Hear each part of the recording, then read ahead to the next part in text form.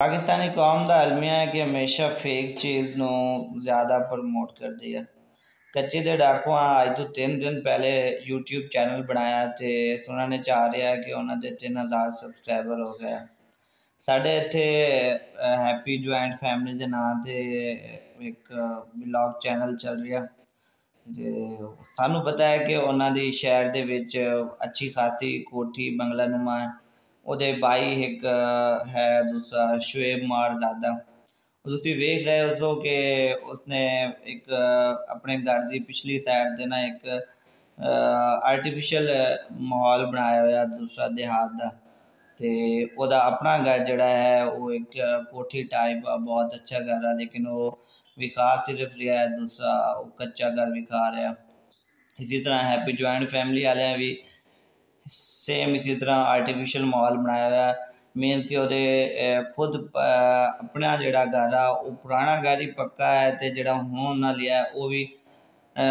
کوٹھی نما ہے وہ اے سی لگے ہوا کار ہے انہوں نے کل سب کچھ آ تے وہ ہوں ڈرامے بازی کر رہا ہے کہ اتنی ہوں کار خریدنی ہے یہ کرنا ہے وہ کرنا ہے تے پاکستانی قوم دا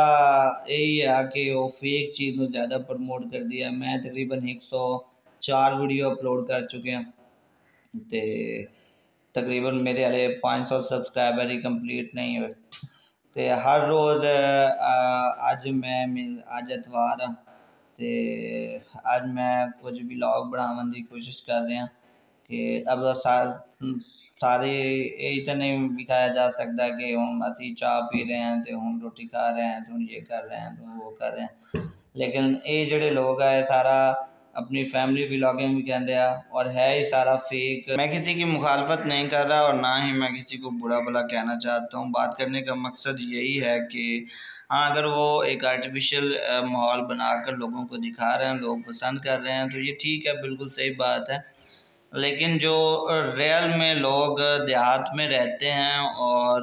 وہ بھی تھوڑا بہت کنٹریبیوٹ کر رہے ہیں ولاگنگ کر رہے ہیں، تو آپ کو چاہیے کہ ان لوگوں کو بھی سپورٹ کریں تاکہ وہ لوگ بھی جو ہے نا سوشل میڈیا پر آگے آ سکیں۔